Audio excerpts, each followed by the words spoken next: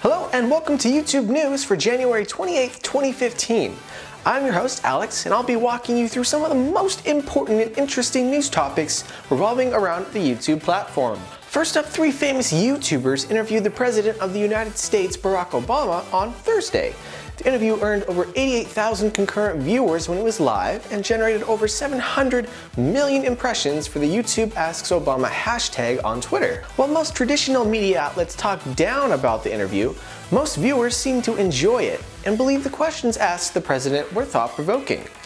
In case you missed it and you want to see the interview for yourself, I'll leave a link in the description down below.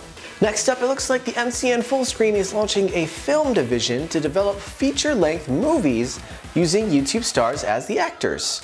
While there aren't a lot of details on this new development, it is said that all movies will be released across all screens and even potentially in movie theaters.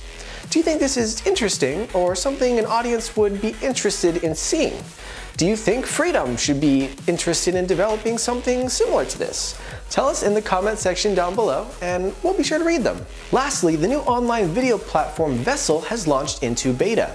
For those of you who don't know, Vessel is a platform for creators to publish their content to their audience early for a subscription fee of $2.99 per month. They tout that their CPM will be in the $50 range for the first 72 hours after a video is released, but since the platform is so new, it is yet to be seen. I was personally invited to test out the Vessel platform, and from what I've seen, it's very modern and well designed, but it lacks a lot of the features that YouTube has, and it's rather closed off to creators that don't have millions of fans. So for now, I think YouTube is the best platform for both creators, small and large, and only time will tell whether or not Vessel actually becomes a competitor in this space. Anyways, that's it for me this week, guys. Tune in next Wednesday for the latest in YouTube news. Thanks for watching.